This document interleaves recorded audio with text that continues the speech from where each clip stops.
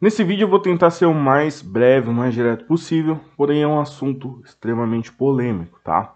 Antes de você sair jogando ou parar de assistir esse vídeo no meio do caminho, eu não recomendo isso, beleza? Assista até o final, entenda a ideia, entenda o que eu quero passar.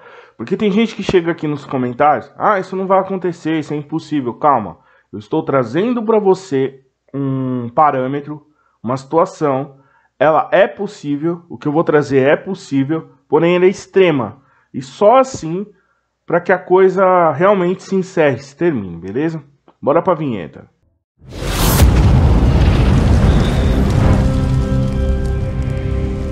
Olá, se você não me conhece, eu me chamo Douglas. Eu recomendo que você se segue a gente lá no Insta, tá certo? Se inscreva no canal, tem o botãozinho, vai lá, clique, se inscreva.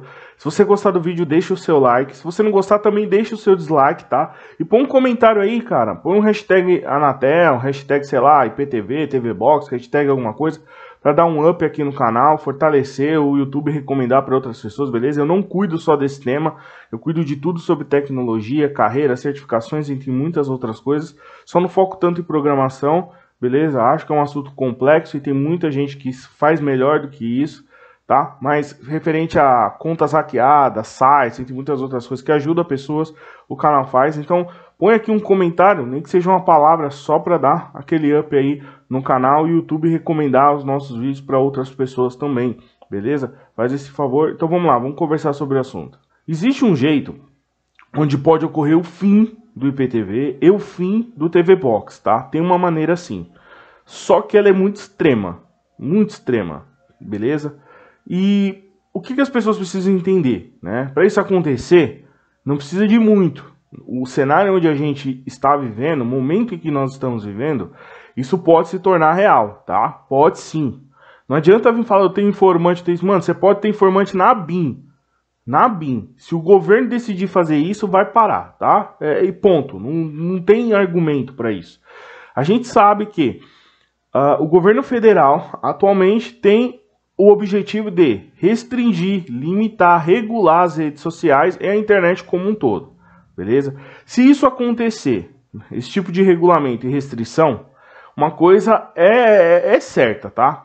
Vai vir de dois lugares, dois lugares. O primeiro, pelo Congresso. Senado e a Câmara, se eu não estou enganado aqui, salvo engano, tá? Se isso for aprovado, qualquer tipo de regulamentação vai vir pesado que você pode ou não acessar a internet, beleza? Então, ponto. Pode chegar ao fim do IPTV? Pode. Isso significa que quem vende esse tipo de produto, tá? Isso é fato, vai ser colocado em pauta. A Anatel vai se aproveitar dessa situação para pedir para o governo, ó, inclui isso aí para que o IPTV não, não seja vendido, não seja distribuído nem nada. Beleza? Esse é um ponto. E como isso pode funcionar? Primeiro, para quem oferece prisão, tá? Os caras podem fazer isso, é só criar um projeto de lei e colocar lá nesse regulamento. Eu não entendo muito, então vou falar do meu jeito aqui, só para deixar bem claro. Prisão, multa, uma multa gigantesca. Isso vai fazer com que as pessoas tenham medo. Pelo menos os brasileiros que fornecem esse serviço vão ter medo de fornecer. E por mais que o cara mora em outro país, ele tem registros aqui, CPF, documentação, tem família. Então isso vai sim é, dar um. Os caras vão dar um jeito de localizar o cara. E, e multar, prender ou algo do tipo. Tá? Então, esse é um ponto que é possível. E o outro lado é vindo do STF. O STF forçar a barra, e tem acontecido com algumas coisas, e regulamentar a internet. Beleza? E se isso acontecer, a Anatel, como eu falei, pode se aproveitar da situação incluir aí o bloqueio do IPTV, tá? Então é um ponto que é possível sim. Se for colocado prisão para as pessoas, que hoje não tem, e multa, uma multa muito grande, que também hoje não tem. Se você, vou te dar um exemplo, tá? Se você consome IPTV, você não vai ser multado. Se você fornece, você também não vai ser multado. Porém, a Anatel, segundo ela, tem feito bloqueio. Eu quero que você entenda, segundo a Anatel, tá? Não sou eu que estou falando isso. Beleza? Eu não vi ninguém que fornece IPTV ser bloqueado e teve que trocar IP, teve que fazer um monte de mudanças para continuar com a distribuição. Entenda que eu estou trazendo uma informação externa explanando aqui para vocês, tá? Não é uma verdade absoluta. Entenda isso. Há uma possibilidade. Como eu disse, ela é extrema. tá? Então, se isso acontecer, algumas pessoas vão ter receio sim de ir preso, de tomar uma multa federal, e federal que eu digo literalmente, né? Porque vai vir de grandes órgãos aí, da própria Anatel, do Ministério de Tecnologia, Ciência e Tecnologia. Eu nem sei quem é o cara que está hoje, mas não importa também. Então, é possível, é possível sim, tá? Isso acontecer, mas é extremo. Entenda que é extremo. Tá, e o TV Box? Como vai funcionar isso? Da mesma maneira. Porém, a regulamentação vai ser feita sempre pela Anatel. O que acontece é, se você estiver vendendo algum produto pirata, né? Tudo bem, tem leis para isso, tá? Referente à multa e prisão, tem leis. Mas elas são extremamente brandas. Tem cara que já vendeu umas 30 vezes esse tipo de produto, que, deixando bem claro, tá? O governo, a Receita Federal, a Polícia Federal considera como pirataria, deixo bem claro que são eles, eu estou explanando, considera como pirataria, considera como um erro, vamos, resumindo, tá? Apreendeu, levou o cara para delegacia, o cara saiu pela porta da frente, foi lá, comprou de novo, continuou vendendo, e para ocorrer novamente isso, ó, levou muito tempo. Normalmente, quando ocorre esse tipo de situação, é porque houve denúncia. Tem que alguém denunciar, falar, oh, o cara tá vendendo produto pirata, isso e aquilo, parará, pererê, e acontecer. Beleza? Tem que ter denúncia. Sem denúncia não ocorre. E vou te dar um outro cenário, tá? Que eu vi um vídeo do Celso Russomano, eu achei interessante. É algo que eu meditei. A Santa Efigênia, quando você compra um produto lá, eles não emitem nota fiscal, pelo menos algumas lojas, e eu acho, eu acho que é a maioria.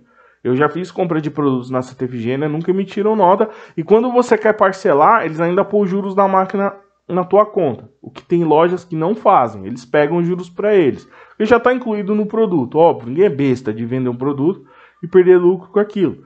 O lucro é importante para qualquer empresa. Porém, na Santa Efigênia, olha, se aconteceu, foi uma ou duas vezes de um longo período onde a Receita realmente foi lá fazer um, passar um pente fino na Santa Efigênia, em quem tem nota fiscal, em quem tem aí a garantia do produto, em quem emite nota fiscal, quem tem CNP, é, CNPJ né, aberto. Você pode abrir uma empresa é, pelo seu CPF, beleza? Pode emitir nota fiscal física, tem todo esse processo, mas um recibo para uma outra empresa já é o suficiente, o recibo já basta. E é o que eles entregam, um recibo assinado. Então pode, pode ser, a maioria das lojinhas lá não tenha CNPJ, beleza? Isso é uma probabilidade. E, eu, e você não vê, pode ir na Santa Efigênia, você não vê a Polícia Federal fazendo a limpa, você não vê a Receita fazendo a limpa. Então o que eu estou falando para você agora é uma realidade. Se você for na Santa Efigênia, eu estou fazendo esse vídeo no sábado, se você for na segunda, terceira, não vai ver lá. Assim, não vi notícias acontecendo da Receita fazer a limpa. Mas lá você vai encontrar uma porrada de TV Box. Os antigos decoders que já liberam aí diversos canais, TV por assinatura, possivelmente eles ainda vendem, eles vendem isso aí, e não tem ninguém lá para bloquear isso aí. Aí você vai falar, por que que não tem? Óbvio, gente, é lucrativo. Quanto a Santa Efigênia gera uma grana tão grande, mas tão grande, vocês não têm ideia. Eu hoje não vou comprar na Santa Efigênia porque na internet eu acho mais barato. E eu já fiz com. Ah, deixando bem claro, aqui no canal tem um vídeo onde eu montei um PC Gamer do zero. Todos os produtos eu comprei na internet. Quem vendeu na internet tem loja na Santa Efigênia. Que eu recebi os cartãozinhos.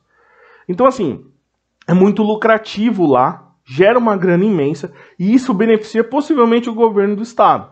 Porque as pessoas estão movimentando dinheiro. Isso é importante. Por mais que não tenha nota fiscal, etc tal, os produtos passaram por alguma tributação em algum processo até chegar na loja do cara. Beleza? Por, de alguma forma passou por tributação. E os caras sabem, para você alugar um box lá deve ser caro e eles tentam aí lucrar o máximo para conseguir pagar quem vende, pagar os caras que ficam ali na rua. O que, que você precisa? Eles pegam você, recomendam para tal loja, tem esse processo, né? entre outras coisas. Então é lucrativo. Não vale a pena atualmente ir lá fazer um pente fino, porque senão vai fechar, eu acho que todas as lojas. Inclusive tem um prédio lá que é tem diversos boxes. não vão fazer a limpa só em um, é em todos. Vai fechar vários, muita gente ali vai se prejudicar. Muitos produtos serão recolhidos. E eu nem sei o que eles fazem com esses produtos. Eles falam, vende, jogam fora tal. Eu duvido, alguém, um funcionário, eu acho, tá? Eu acho, deixa bem claro. Deve pegar, eu vou levar para casa, vou usar, pá e tal. É, deve ter, deve ocorrer. Isso aí é, é, acontece, eu acho, eu acho, né? Eu acho. Enfim, não quero ser preso, nem ser prejudicado, nem nada. A gente tem que tomar cuidado. Então, assim, essa é a realidade onde a gente vive. E o TV Box, se ocorrer a regulamentação da internet, regulamentação da área de tecnologia, o aparelho vai entrar.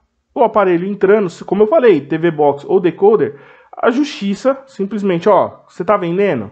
Tá. A pena agora é maior para quem vende, a pena é maior para quem tem, a pena é maior para quem, sei lá, é, carrega o produto.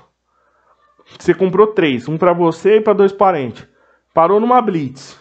Pô, você tá levando um TV Box? Cadeia na hora. Vamos imaginar. Vamos, vamos imaginar. Então, no, o que era brando não é mais. Beleza?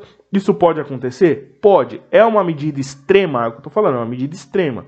É, mas é possível, tá? Entenda, não sou eu que estou dizendo essa verdade absoluta. Ó, isso é, é certo, vai acontecer? Não, não, não, não vi nada com essa probabilidade.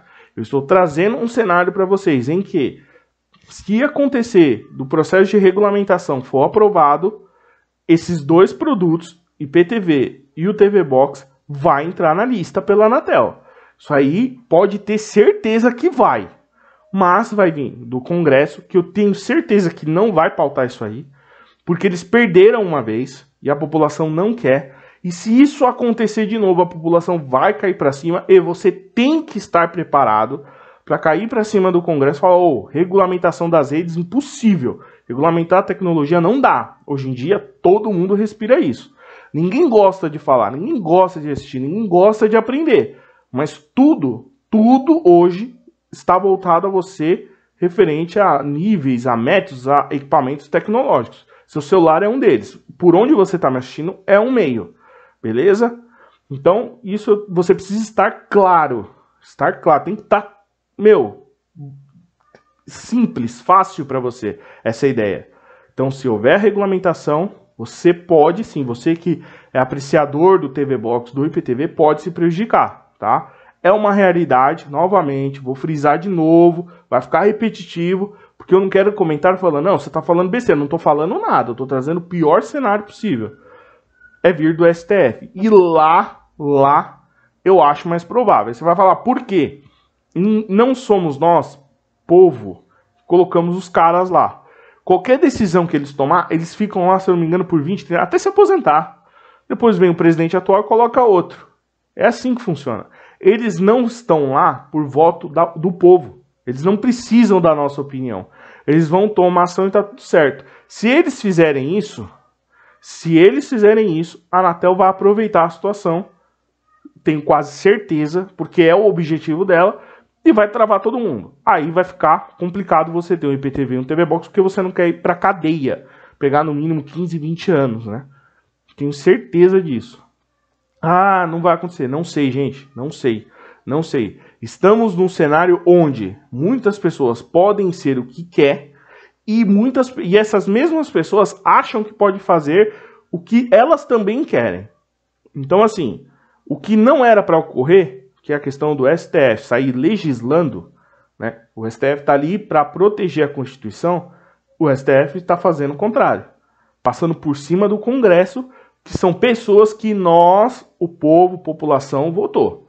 Então, eu preciso colocar isso na mesa para que você entenda o como pode acontecer o porquê, quais razões e assim por diante. E as razões a gente já sabe, né? A ideia de limitar você ter acesso à internet é limitar você ter acesso à informação, porque segundo eles é tudo fake news, entendeu? É basicamente por isso. Mas dentro dessa história vai entrar o que muitas pessoas apreciam, que é a questão do IPTV e do TV Box, beleza?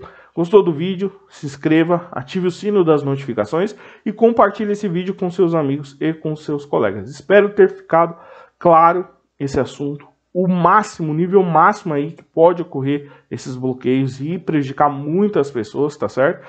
Aproveita, segue a gente lá no Instagram, tá certo? Tem um blog também, eu costumo colocar é, textos, informações, procedimentos técnicos lá.